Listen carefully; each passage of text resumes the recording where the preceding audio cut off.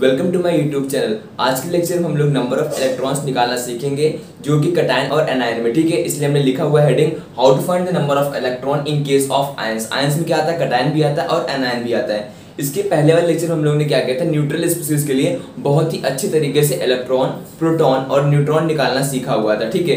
अगर जिसने वीडियो देखी, उसको काफ़ी ज़्यादा हेल्प मिलने वाली यहाँ पर। अगर नहीं भी देखी, देख सकते हैं आप लोग तो अभी हम यहाँ पे बिल्कुल बेसिक से ही समझाने वाले हैं, ठीक है? तो यहाँ पे number of electron find out करना है। देखो, यहाँ पे इलेक्ट्रॉन प्रोटॉन न्यूट्रॉन की भी बात होती है, लेकिन प्रोटॉन और न्यूट्रॉन का जो निकालने का तरीका है, वो पुराने वाले फॉर्मूले से ही मैच करता है, उसमें कोई भी चेंज नहीं है। इसका रीजन क्या है चेंज ना होने का? देखो आयंस कैसे होते हैं? एक होता है कटायन, एक होता है एनायन क्या होता है? एक होता है कटायन और दूसरा क्या होता है? एनायन कटायन कैसा होता है? ये पॉजिटिवली चार्ज होता है। एनायन कैसा होता है? ये निगेटिवली चार्ज होता है। पॉजिटिव चार्ज कब डेवलप होता है और निगेटिव चार्ज कब डेवलप होता है? इसके बारे में बात करते हैं। देखो कटायन मतलब हो गया पॉजिटिव चार्ज पॉजिटिव चार्ज किसी भी एटम पर कब आता है, उसमें से इलेक्ट्रॉन बाहर निकल जाते हैं, ठीक है? एनायन कब बनता है? जब वो इलेक्ट्रॉन को गेन करता है। तो मतलब पूरा जो खेल है ट्रांसफ़र ऑफ़ इलेक्ट्रॉन का ही होता है, ठीक है? तो प्रोटॉन और न्यूट्रॉन कोई रोल ही नहीं यहाँ पे। तो प्रोटॉन और न्यूट्रॉन निकालने का जो तरीका, वो पुराने वाले फॉर्मूले से ही मैच करता है। लेकिन इलेक्ट्रॉन के यहाँ पे थोड़ा सा बदल जाता है। क्या याद रखना है? इन केस ऑफ़ कटायन मतलब पॉजिटिव चार्ज है, वहाँ पर नंबर ऑफ़ इलेक्ट्रॉन क्या होंगे? निकल गए होंगे, बाहर से ले गए होंगे, ठीक है? एनायन केस में तो उसने इलेक्ट्रॉन को गेन किया हुआ है। तो वहाँ पर इसलिए एनायन बोला जा रहा है या फिर क्या उस पर इसलिए निगेटिव चार्ज डेवलप हो रहा है, ठीक है? एग्ज़ाम्पल देंगे, काफ़ी अच्छे से ये पॉइंट क्लियर होने वाला है, ठीक है? जैसे मान लो हमने बोला CO3 टू माइनस हमने कहा कि यहाँ बताओ नंबर ऑफ़ इलेक्ट्रॉन्स कैसे होंगे, ठीक है?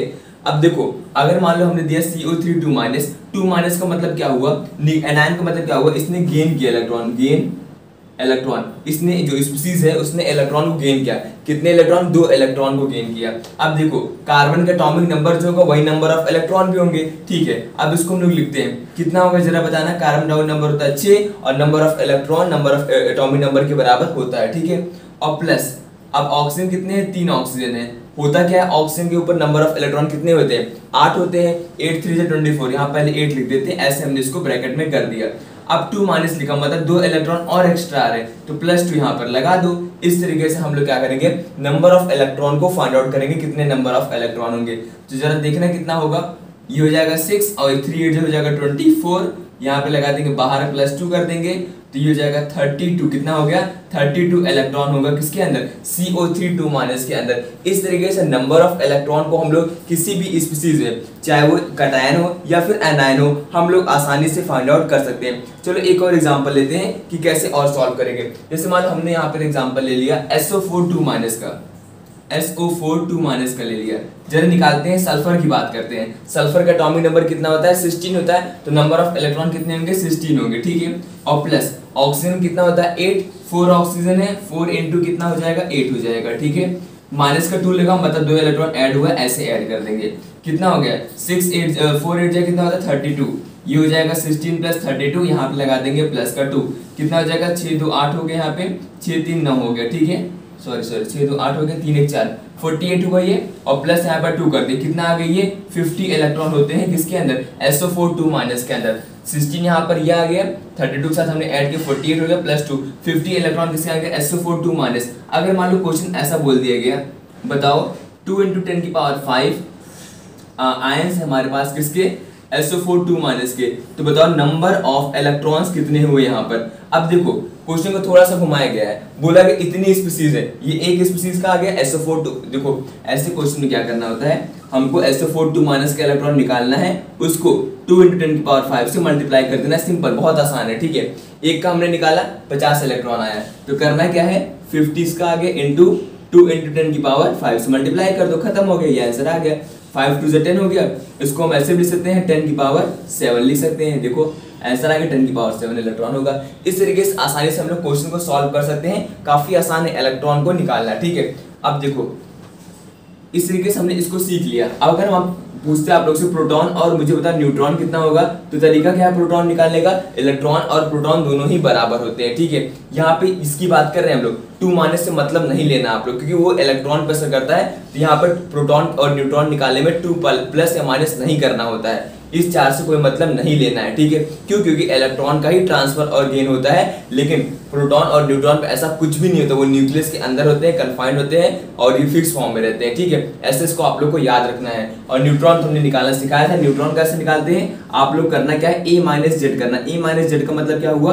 कि आप लोग को एटॉमिक मास को एटॉमिक मास को माइनस कर देना है किससे? एटॉमिक नंबर से। जब दोनों को माइनस कर दोगे तो आप लोग को जेड भी मिल जाएगा कि number of electron number of neutron वहाँ पर कितने हैं और प्रोटॉन का तरीका हमने बता दिया। ये कैसे निकालोगे? एटॉमिक नंबर के बराबर तो नंबर ऑफ़ प्रोटॉन और भी हमने जैसे निकालना सीखा, वैसे कर देना है। बस क्या नहीं करना है, ये टू माइनस एड करना है, इसको नहीं करना है, ठीक है? इस तरीके से हम लोग किसी भी कटायन और एनायन के अंदर सॉल्व कर सकते हैं कि कितने कितने नंबर ऑफ़ इलेक्ट्रॉन्स उसके अंदर हैं प्रोटॉन्स कितने हैं और न्यूट्रॉन्स कितने हैं। काफ़ी आसान तरीका है, इसका पहला लेक्चर आप लोग ज़रूर देखिएगा, जहाँ हमने अच्छे से बहुत समझाया हुआ है किस तरीके से न्यूट्रल स्पीसीज के अंदर भी इलेक्ट्रॉन्स निकाले जा सकते हैं, ठीक है? अच्छा इसका एक क्वेश्चन करा देते हैं। जैसे मान लो मेरे पास है species S four two minus ये इसमें प्रोटॉन निकालना मुझे बताओ कितना होगा? देखो सल्फ़र कितना हो जाएगा? सिक्सटीन इसका एट इंटू फोर हो जाएगा। ठीक है, यहीं पे छोड़ देना है। जैसे मान लो, देखो, हमने यहाँ पे किया था solve sixteen plus four into eight किया था। ये प्लस टू इसमें नहीं करना था प्रोटॉन केस में ठीक है तो यहाँ पे कितना हो जाएगा? सिक्सटीन प्लस फोर एट हो जाएगा थर्टी टू कितना आगे? फोर्टी एट इलेक्ट्रॉन पर ही छोड़ देना है इसको। ठीक है, ऐसे करना है प्रोटॉन को। और अगर न्यूट्रॉन निकालना है एक एक के बारे में सोचना पड़ेगा। कैसे सोचोगे? देखो, जैसे मान लो हमारे पास सल्फ़र है, सल्फ़र का एटॉमिक नंबर कितना? सिक्सटीन एटॉमिक मास होता है थर्टी टू अब मुझे निकालना है न्यूट्रॉन कितना होगा सल्फ़र पे? तो proton atomic mass minus atomic number कितना आ गया? ये सिक्सटीन ही आ गया।